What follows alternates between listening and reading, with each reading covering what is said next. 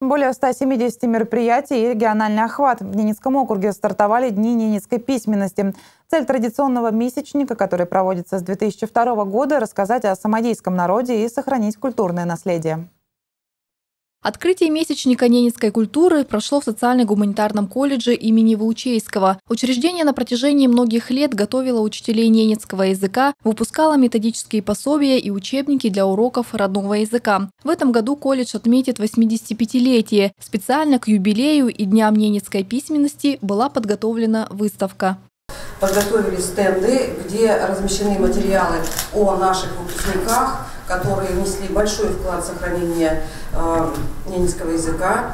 Э, это материалы о э, Рожине Анатолию Ивановиче, это материалы об Алексее Ильиче Печкове, э, Розе Ивановне Коньяковой и э, Марии Яковлевне Барнич. Кроме того, студенты дизайнерского направления подготовили небольшую экспозицию со своими работами. Среди них куклы в этностиле. Традиционные нухуко из меха и кожи оленя соседствуют с игрушками из современных материалов. Это изделие изготовлено из паперклея. Это материал, пластическая масса такая.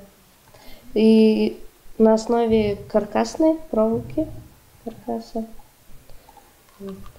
Волосы это у нас из шерсти изготовлены.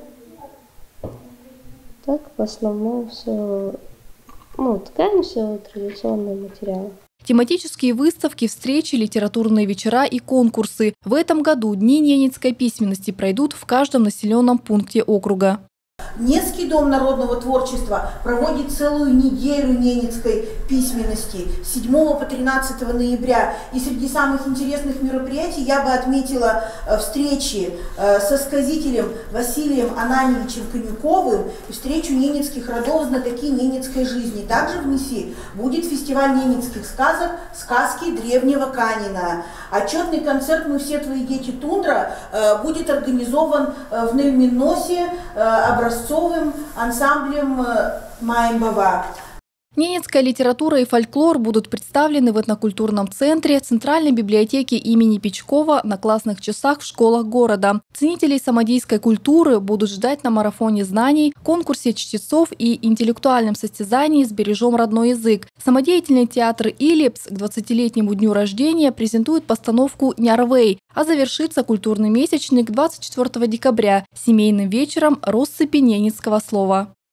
Валентина Чибичек, Дмитрий Лукевич, телеканал «Север».